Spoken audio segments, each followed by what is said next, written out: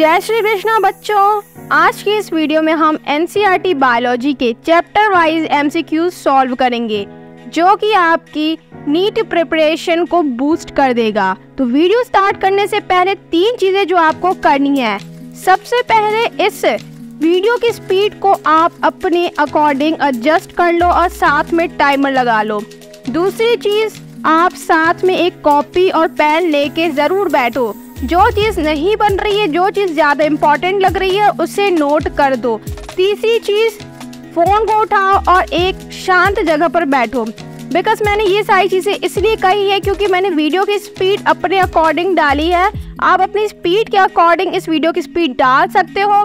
Books मैंने इसलिए बोली है क्योंकि वो चीज़ें बाद में आप रिवाइज कर सकते हो। और तीसरी चीज़, जो कि मैंने बोला कि शांत जगह पे बैठो क्योंकि आप जैसे ही शांत जगह में बैठोगे, आपका दिमाग शांत रहेगा, काम रहेगा और शांत दिमाग से आप इन सारे एम को सॉल्व कर सकोगे।